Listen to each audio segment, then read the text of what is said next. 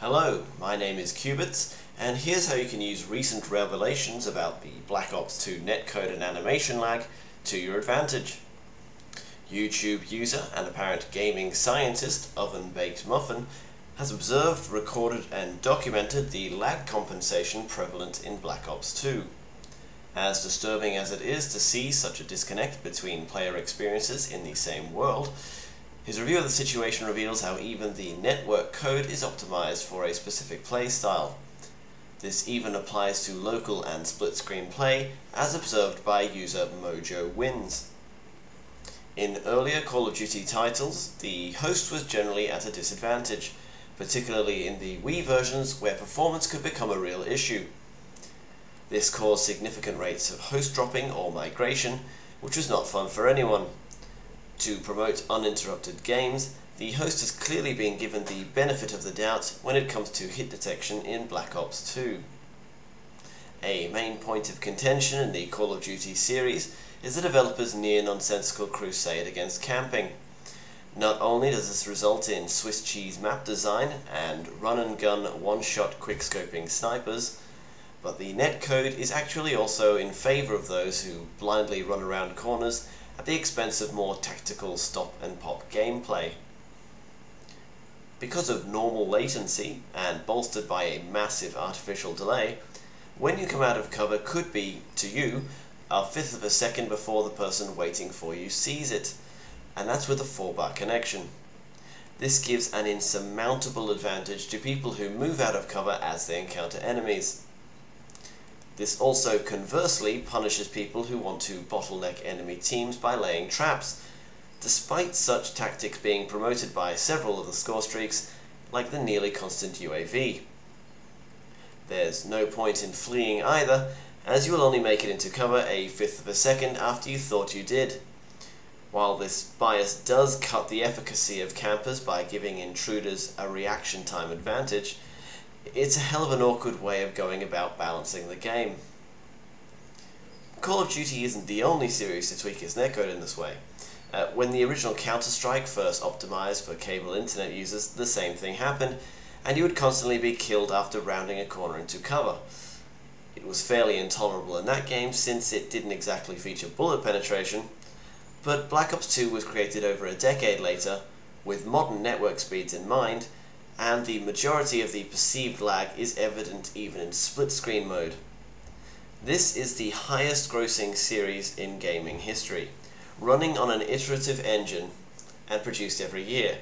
How are problems like this allowed to exist?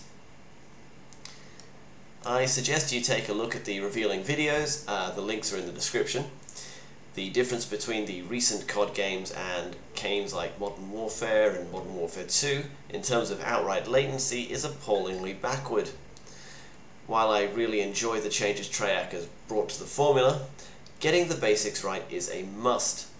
If they could finally uh, get rid of the instant kills and janky kill cams by addressing this ridiculous camera lag, even the weapon imbalances could be overcome by player strategy and skill. As is, you benefit greatly from just constantly running out of cover and spraying machine pistols at people. Well, that's my thoughts on one of the major factors affecting the current Black Ops 2 experience, and how you can leverage it to your advantage by altering your playstyle. If you liked this video, like it. Uh, if you have a comment, there's a section for that too. And if you have a question, leave it in the comments, and I'll see you online just a moment before you see me.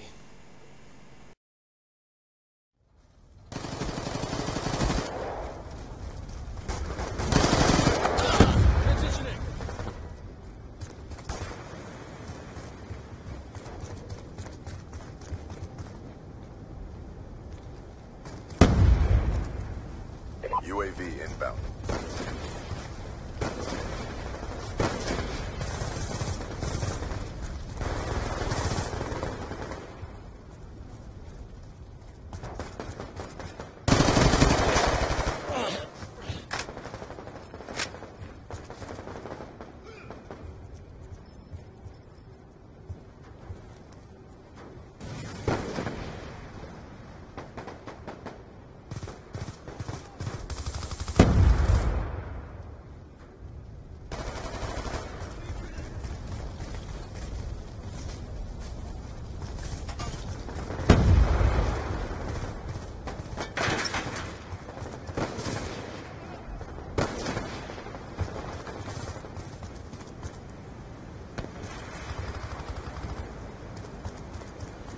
Friendly UAV inbound.